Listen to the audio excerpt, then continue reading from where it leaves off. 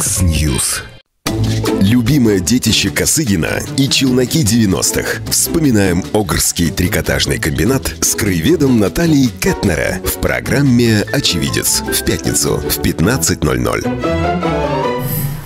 Добрый день, уважаемые радиослушатели. Сегодня у нас следующий выпуск программы «Очевидец», и мы э, взяли тему любимого детища Косыгина. Это Огрский трикотажный комбинат. Но как он стал любимым детищем э, могущественного э, руководителя правительства Советского Союза Алексея Николаевича Косыгина. Об этом сегодня расскажет э, краевед, журналист, патриот большой города Огры Наталья Кетнера. Добрый день. Добрый день. И я э, ведущая программы «Очевидец» сегодня, Людмила Прибыльская. Итак, у Угорского трикотажного комбината была такая не вполне обычная судьба. Как Наталья написала в своей книге, этого комбината не было, если бы не дружба Алексея Николаевича Косыгина с другим замечательным человеком, председателем колхоза миллионера Лачплесис. Наталья, в чем была история, расскажите. Ну, конечно, э, чтобы утверждать этот факт, была прежде работа архивная, я читала мемуары самого Каулинша, еще многих председателей Угорского края. И, в общем-то, я пришла к этому выводу. Э, почему? Во-первых, в те годы строился, строилась Плявинская ГЭС, и Косыгин курировал этот проект, и очень часто мимо Огр проезжал э, из Риги в Плявенес. Ну, тогда это Стучка, город Стучка был. Угу. И после э, рабочего дня он любил заезжать в колхоз Лачплесис. Ну, естественно, э, колхоз славился и своими и консервами, и, и пивом, и э, самое главное, что было и у Каулинша, и у Косыгина это страсть к рыбалке. Естественно, они рыбачили, был костер, были разговоры обо всем. И, э... А вы знаете, как они познакомились? Просто вот герой социалистического труда из, э, ну, из маленькой страны Латвии каким-то образом стал вот приятелем, я не знаю, другом э, председателя Нет, ну... правительства. Как это могло быть в то время? Э, я думаю, что были начало строительства. Даже есть фотография, где и Каулинч, и Косыгин вместе на открытии Плявинской ГЭС. То, э, я думаю, что знакомство произошло в процессе э, работы. Работы. Угу. При начале строительства, да. Еще у них был общий знакомый, это генерал Алоинс Блонскис, легендарный может быть, вы, конечно, слышали об этом. У него тоже это были... наш угро... уголовный Да, он, он был самым молодым начальником полиции в свое время. И Милиции был... тогда, наверное. Да, угу. уже да, уже в милиции. Э, он работал в Юрмале, его в Огры перевели, и, как он писал в своих мемуарах, он на то время стал самым молодым начальником милиции. И это была дружба тоже с Эдгаром Каулиншем. И вот этот факт, который я уже описала потом, э, также приведен в мемуарах Алоя Заблонскиса. Не побоялся написать даже есть, даже есть фотографии, где сидит Блонский с э, Каулинч за стопочкой. Косыгин. За стопочкой алкоголя. Нет, Косыгина там не было, но вот это была дружба вот таких э, настоящих крепких хозяйственников, хозяйственников и мужчин. Неважно, я думаю, что статус не имел значения, особенно для Косыгина. Он не ставил себя выше других. Он очень был достаточно чутким руководителем, и он чувствовал хороших людей. Как в свое время Каулинчин сказал, он же э, несостоявшийся берейтер, дрессировщик лошадей, и, как он писал тоже в мемуарах, э, лошади очень чувствуют, э, плохой человек или нет. То есть очень чуткий был. То есть лошади любили Косыгина, а Косыгин лошадей? Ну, можно сказать и так. Хорошо, значит, вот они познакомились в ходе строительства Плявинской ГЭС, и, ну, одно дело ГЭС, а другое дело трикотажный комбинат. Какая тут связь? Потому что оба были увлечены ткачеством. Если Каулинч с детства привык видеть, как мама ткет и вяжет, э, то Косыгин, он вообще закончил текстильный институт институт. Он в свое время работал на фабрике. Это даже, можно сказать, была его, ну, как Любовь в жизни. Любовь, да. Ну, не хобби, конечно, но это ему нравилось. И, и его, конечно, была мечта одеть советских женщин в красивый трикотаж. И поэтому возникла эта идея э, рядом. В принципе, Айскра около Огра это на одной линии, как бы вдоль... Э, электричка э, ходит? Электричка, железная дорога, шоссе и Даугава. То есть стратегически место было очень хорошее. И в 1967 году было начато строительство. А решение было принято ранее? Ну, то есть э, ему э, преслед... Решение было принято в 1965 году да. по проекту Ленинградского института проектного. И началось строительство, оно велось э, очень такими активными темпами. Ну, что значит активные темпы? За сколько был построен комбинат? За два года. За два года? Да. А сколько два... там площадь этого, этой стройки составляет? Почти 8 гектаров. Ого.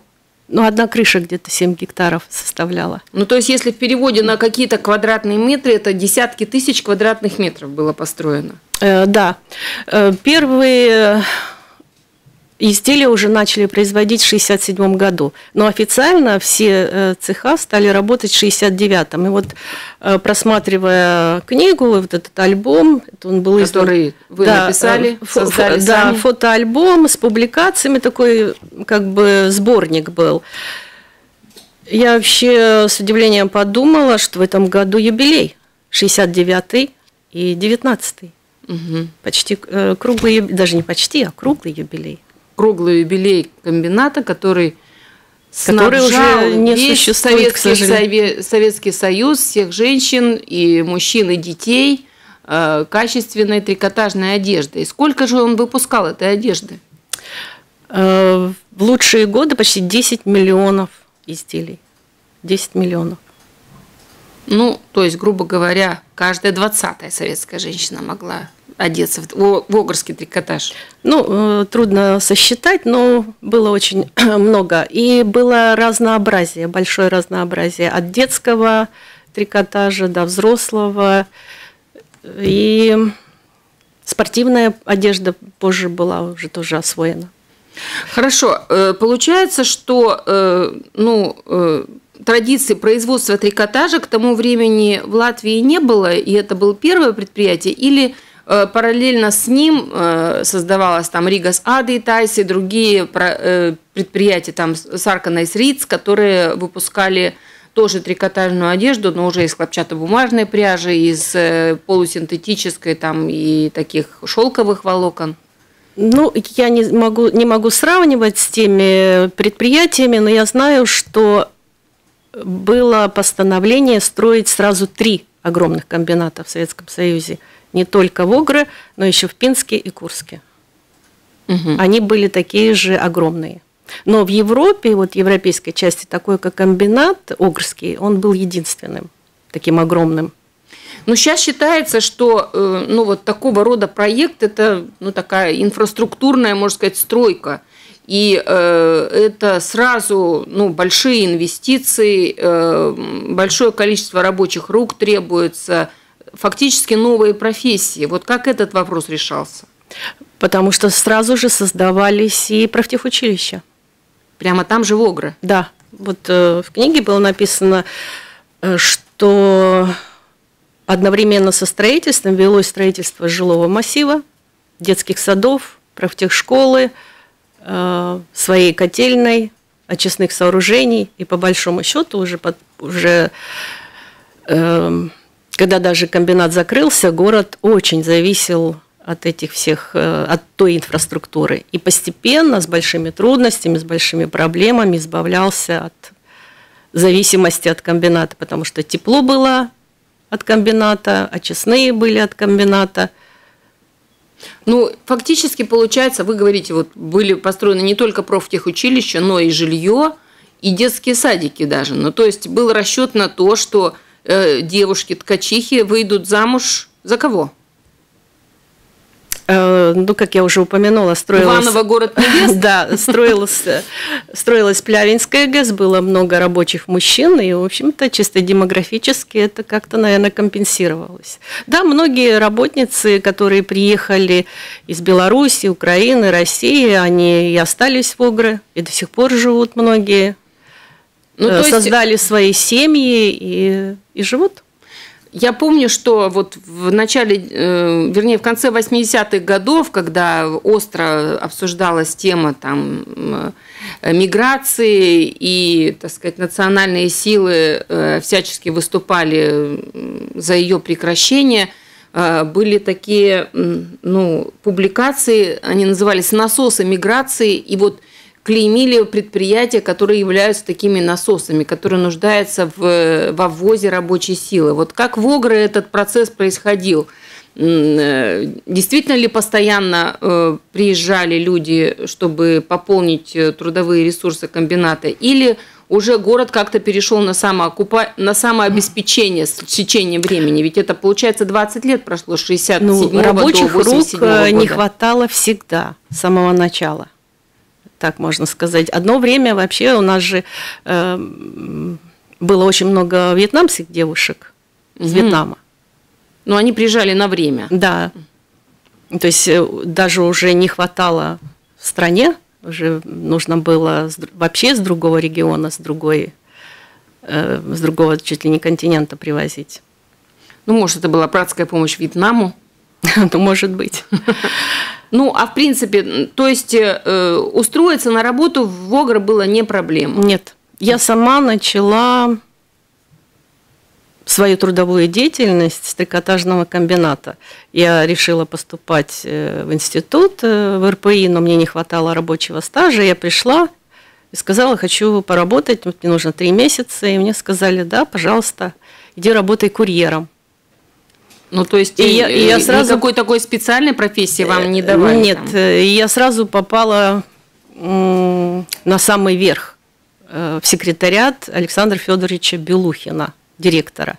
В принципе, это легендарный директор, который, в общем-то, заработал три инфаркта, можно сказать, на на этом, этом производстве. Почему что инфаркты у него очень, случались? Много потому было что проблем? Очень, очень много проблем и большая-большая ответственность. Сколько человек работало на комбинате? Э, от 6 до 8 тысяч в разные годы.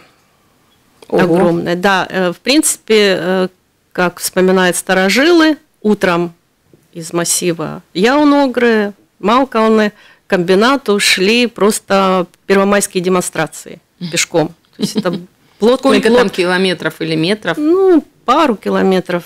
Плотные-плотные потоки шли. Сейчас, как некоторые мои коллеги, отмечая мои фотографии города, что удивляются. Удивляются, что людей на улицах очень мало практически. Ну, как и, в общем-то, во многих других городах. Понятно. Э, то есть э, Белухин, он был руководителем этого комбината с самого начала? Нет, нет. Угу. Там до этого было э, еще несколько директоров, но Белухина был самый такой продолжительный и, можно сказать, под его руководством строилось очень много значимых объектов в городе. Это и школа, и бассейн большой, и то есть получается, что построив комбинат, э, э, ну, правительство, власти продолжали развивать инфраструктуру города, причем за счет э, объектов, которые никак не были связаны с производством. Ну, они все равно были опосредованно, но связаны с производством, ну, как в заботе, Они создавали в заботе, в заботе о работниках. Я могу отметить и детский сад Саулита, в котором была уникальная методика оздоровления детей. Вот я вспоминаю свою поездку на Огрский комбинат еще в, ну, в советское время, когда э, я посещала, был такой лечебно-трудовой, фу, ты, не, просто профилактории, лечебной профилактории с какими-то водами, с какими-то процедурами. Да он там же в Огре находился. Но это... И работники комбината могли э, там получить лечение, ну, вот как бы не, от, не отъезжая никуда далеко. Были профилактории, санатории, которых уже, к сожалению, нет. Э, был Саул Старый санаторий, был э, санаторий Огры. И вот детский сад, где была вот эта разработана методика, там и, э, дети ходили по камням, они закалялись, и прополис, мед, э, продукты из меда, э, закаливание, в общем, и дети очень-очень мало болели. Э, хорошо, мы сейчас прервемся на э, небольшую рекламную паузу. Э, после перерыва попробуем связаться с нашими очевидцами, которые за пределами студии находятся, и принять ваши звонки по телефонам 672 12 93 9, 672 13 93 9. Наверняка у многих из вас есть свои истории, связанные с огорской одеждой. А сейчас маленький перерыв. Mix News. Ну, как мы э, знаем, в Огре проблем э, у девушек выйти замуж не было, потому что по соседству было два больших э, народно-хозяйственных объекта. Это Плявинская ГЭС, где преимущественно работали мужчины, и Рижская ГЭС с теми же самыми мужчинами. Мы сегодня продолжаем разговор э, с Натальей Кетнере, краеведом и журналистом, которая посвятила часть своей жизни э, поиску истории Огры и, в частности, крупнейшего трикотажного комбината Европы, который находился в этом городе, который производил от 10 до 12 миллионов изделий в год, где работало 8 тысяч человек, и площадь этого огромного комбината составляла 8,5 гектаров – а, сейчас я хотела бы обратиться к радиослушателям, может быть, э, с предложением рассказать свои истории, связанные с огорской одеждой, есть ли она у вас еще до сих пор, сохранилась ли, угу, какие-то любимые вещи, кому вы что дарили, покупали, отсылали – Э, из Огрского трикотажа. Помните ли вы этот магазин, который находился на улице Элизабетес, фирменный в Риге, где всегда было много-много народов, желающего приобрести новые изделия? Вот, кстати, у нас есть звонок, сейчас мы послушаем. Добрый день, говорите. Добрый вечер. Вот с удовольствием слушаю ваши воспоминания. Э, самое интересное, что я помню первую вещь, которую я купила в Огорского трикотажного комбината. Это было начало 70-х годов, я учился в институте. И мне родители на день рождения подарили деньги. Не знали, что подарить, и вместо подарка подарили деньги. Довольно приличную сумму, по тем временам 50 рублей. Ой, 50 это вот. много, да. Да, а у меня было такое счастливое состояние, ничего не нужно было. И вот я просто носила эти деньги с собой на тот случай, ну вот вдруг что-нибудь, например, французские духи попадутся, выбросят. Да, и вот, да, пузырек французских духов дорогих стоил 45 рублей, да. 45 рублей, все правильно. Вот. И вот я как-то проходила мимо вот этого магазина фирменного на Элизабета, э, раньше на Кирова, и зашла уже такой предвечерний час, они должны были бы, наверное, закрываться, вот где-то буквально за час до закрытия примерно. Э, народу не было в магазине, время такое. Вот. И я так пробежала по полкам, вроде ничего, и уже собирался уходить, и вдруг продавец мне говорит, «А, не хотите посмотреть, говорит, только получили экспериментальную партию. Мне кажется, это для вас. И вот она сняла э, с полки, положила на прилавок юбку. Тонкая шерсть, гофре, цвет шоколада с люрексом. Такая тонкая-тонкая люрик, э, нить, э, шерстяная ворсинка, красная и желтая. Вы знаете, юбка, ну, просто прелесть. Вы знаете, я ее купила, стоила она рублей 30. Довольно дорого. Но это была чистая шерсть, действительно экспериментальная партия. Относила я ее за милую душу, очень любила. И потом совершенно случайно испачкала вот краской. Попыталась оттереть, не получилось. Выбросить рука не поднялась, я ее отложила, она у меня так и лежала. И вот несколько лет назад я опять наткнулась на эту юбку, и опять рука не поднялась ее выбросить. Что я сделала? Я ее распустила смотала в клубочки эту шерсть. Да вы что, она Добавила распустилась прямо у вас? Трикотажный комбинат угу. продавал еще остатки пряжи, ну, то, что у них оставалось от производства. У меня такая пряжа тоже была, я любила вязать. Добавила туда точно такую же темного шоколада нить. Добавила легкую нить, тонкую нить козьего пуха и связала себе джемпер. теплый, легкий джемпер. И у меня действительно сохранилось ну, несколько вещей угорского трикотажа я до сих пор ношу, считаю, что и качество, и цвет они не теряют, и не теряют своей актуальности. Спасибо. Ой, спасибо вам за ваш рассказ, очень интересно. Замечательно. А, а вот, кстати, о цветах. Э, Наталья, вы принесли палитру такую, э, где вы взяли э, эту штуку, как она попала к вам в руки, покажите вот на камеру нашим э, зрителям, которые в Ютубе потом будут смотреть, или, может быть, смотрят сейчас.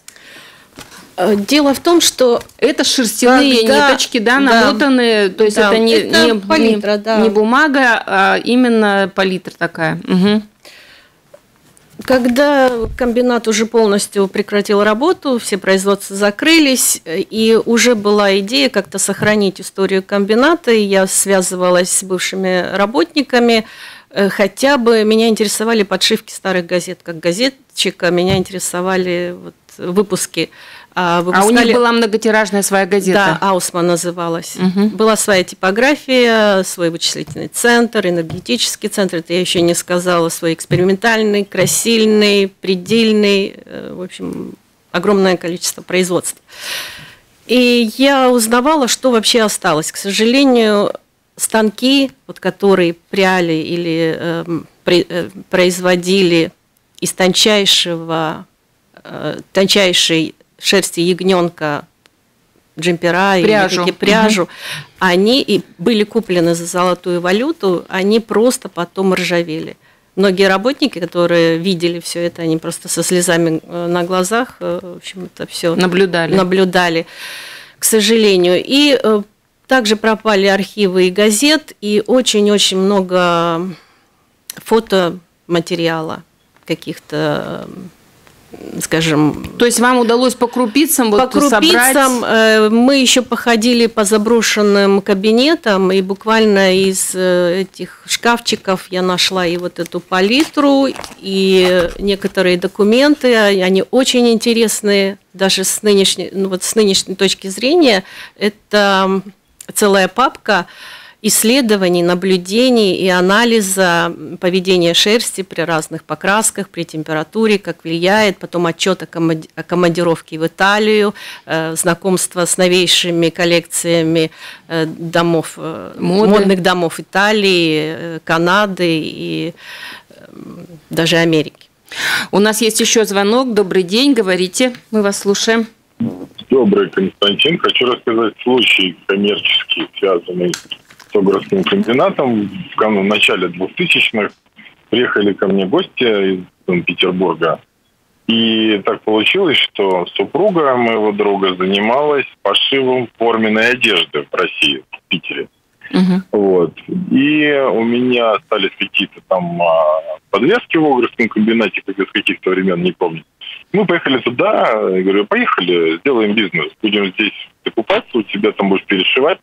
И будем э, в Питер толкать огрские э, одежду из огрских изделий. Приехали мы э, в Огры, э, связались со складом. А Какая-то дама нас пустила, не помню, она то ли коммерческий директор бывший, то ли начальник рекламного отдела. Вот. Она пустила нас на склад, чтобы мы посмотрели, что нам может подойти. Мы зашли.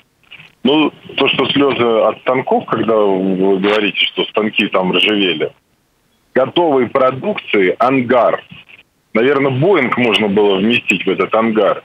Под потолки в, коро- в картонных коробках стояло брошено никому не нужные костюмы, трикотажные пиджаки и прочая куча всякого барахла. Ни- ничего не могла, она никуда не могли это продать. Мы начали спрашивать, в чем проблема, почему Угорский комбинат умирает? Потому что ну, бренд известный был на весь Союз. А всего деловца можно было спасти, как оказалось, комбинат. Латвия на таможенном ввозе а, на шерсть, шерстяные изделия и пряжу брала такой процент растаможки, что нельзя было сюда везти, чтобы это было выгодно. Мгм. И проще было вывести Огрский комбинат в Россию и там снабжать его сырьем, чем сюда завести шерсть. То есть всего-то надо было правительству латвийскому дать льготное пошлинное Ну, то есть освободить от, э, пошлин, да. сырья, да. И Огрский комбинат бы жил. Вот. Ну, в результате не получилось. Э, естественно, там что-то забрать, оно уже было много порчено. Вот. Девочка потом ну, дошло до того, что где-то в середине России, то ли, по-моему, в Костроме, то ли в Ярославле, открыли аналог, ну, конечно, намного меньше uh-huh. по масштабам комбината, и они стали брать оттуда сырье, и пошел бизнес, и они сделали именно форменную одежду трикотажную, которая продается всегда, потому что это моряки, это... Это ваша знакомая сделала в России или здесь в Огре? Да. Нет, угу. в Огре не получилось. То есть тот сырье, которое, вернее, те остатки, которые там были, нам не подошли, а новое, вот из-за причин растамаживания, они не смогли нам дать по цене э, такое интересное предложение, чтобы оно было рентабельно, чтобы можно было потом экспортировать. Угу. То есть из-за того, что большой таможенный ввоз был на территории Латвии, когда конечное изделие получалось, оно уже стоило таких денег, что его нельзя было уже никуда пристроить. Спасибо, Константин, за ваш э, рассказ. Э, да, действительно, это очень прискорбная история. А вот ваша версия, Наталья, почему все-таки комбинат э, да, не смог, очень несмотря часто, на приватизацию, выжить? Очень часто задают этот вопрос. Там много факторов. Вот как упомянул Константин, это таможня, эти все налоги, разделение, в принципе, стали две разные страны, два разных государства – Потом э, это стоимость энергоресурсов э, и очень много других факторов. И вообще... Ну отнош... да, отопить 8 гектаров площадей производственных, это уже само по себе в копеечку влетает. Да, э, поначалу, чтобы спасти, в общем-то, производство, было уже после приватизации, когда комбинат попал в частные руки, он был разделен одна фирма стала управлять очистными сооружениями, другая там предельным производством, трикотажным производством и так далее. Но это тоже уже не спасло.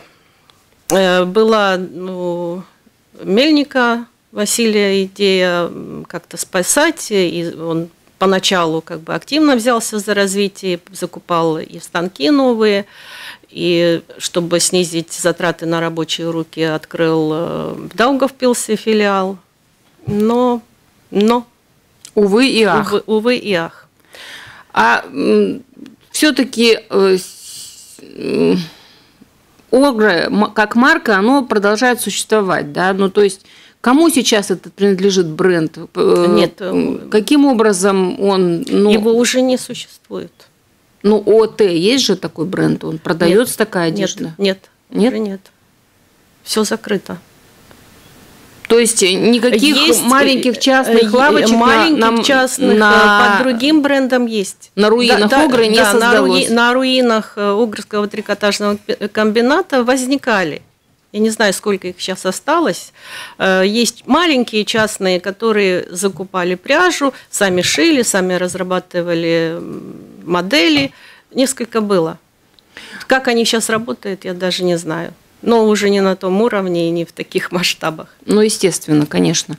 Э, какой-то момент времени вот э, эта слава Огры, она помогла многим Э, нашим согражданам, э, нашим соседям, друзьям просто выжить, потому что э, Огрские изделия, они стали валютой. Их возили, так сказать, челноки в больших сумках в разные страны, так сказать, на разные республики бывшего Союза – вот, и это тоже такая интересная история, которую можно было бы рассказать, и мы, наверное, ее расскажем. Сейчас мы примем звоночек один.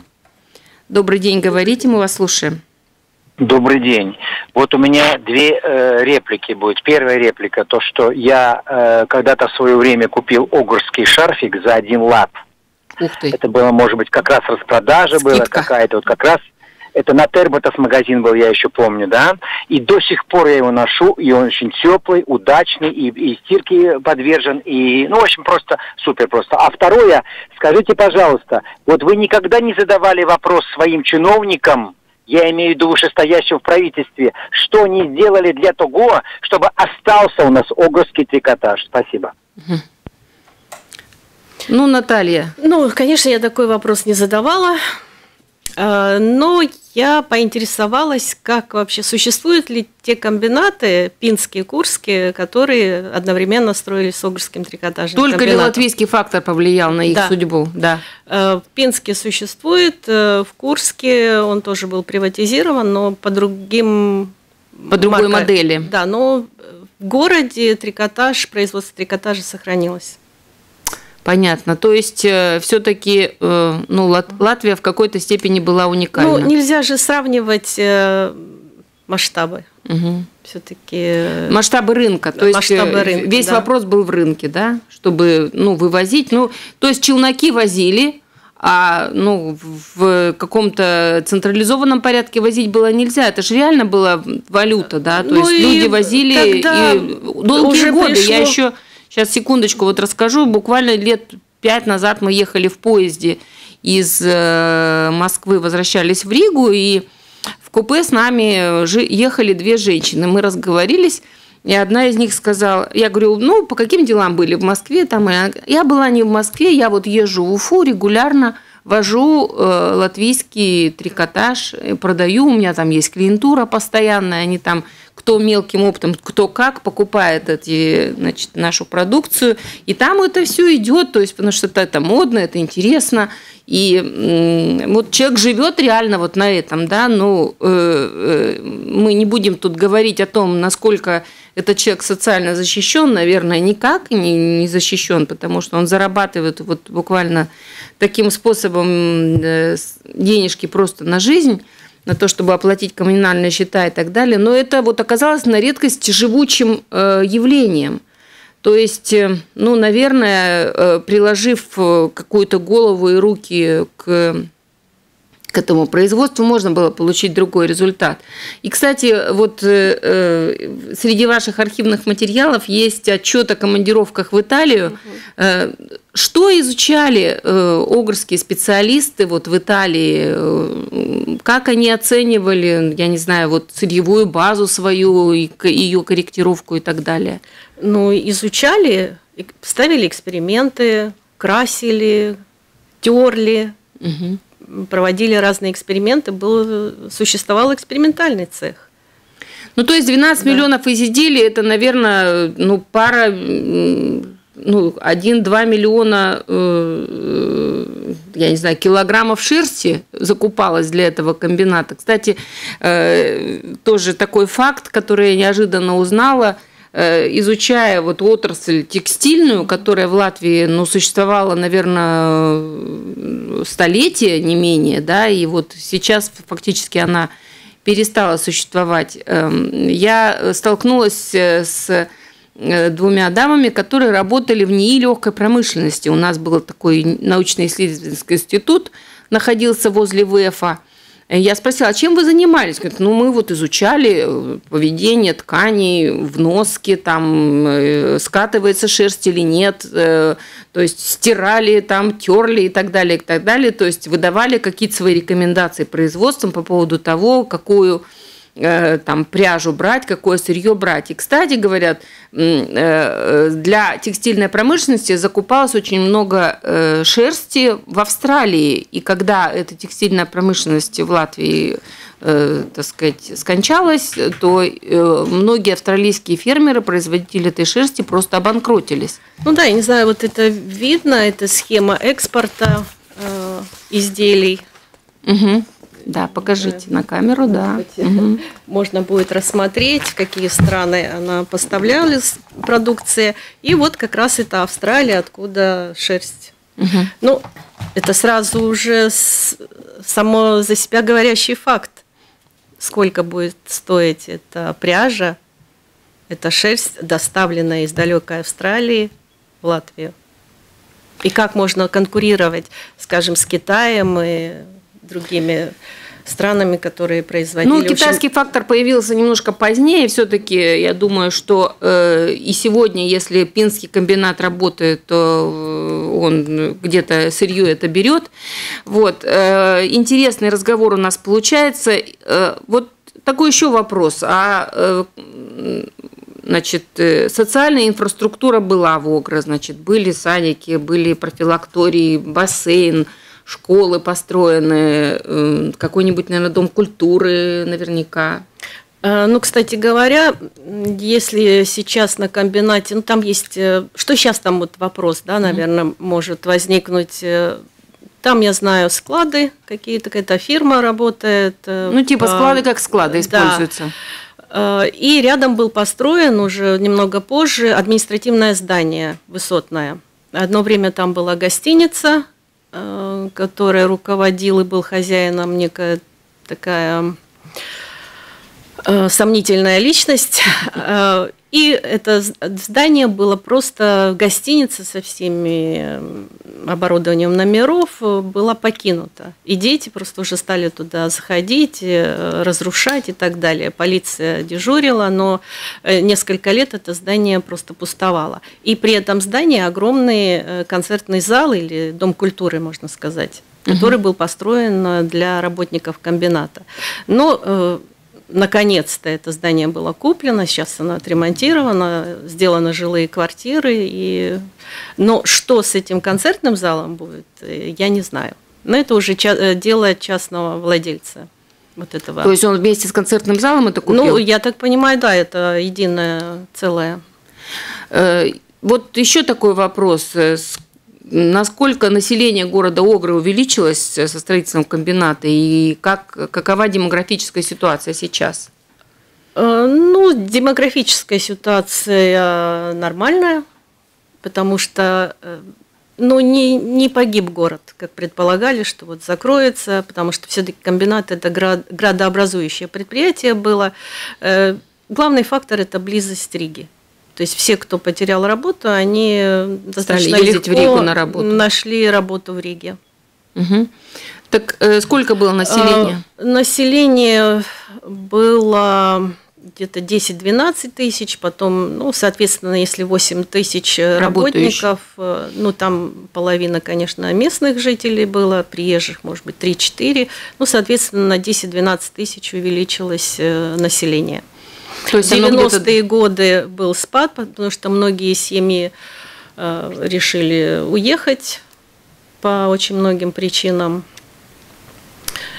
Э, а сейчас город живет. Э, и производства особых нет. Какая кроме, память да. о комбинате в городе сейчас? Вот я э, получила такое перед тем, как анонсировали мы эту программу Э, такое суждение, ну, то свидетельство тоже, что э, в музее города Огры кто-то спросил, а вот что там у вас был комбинат?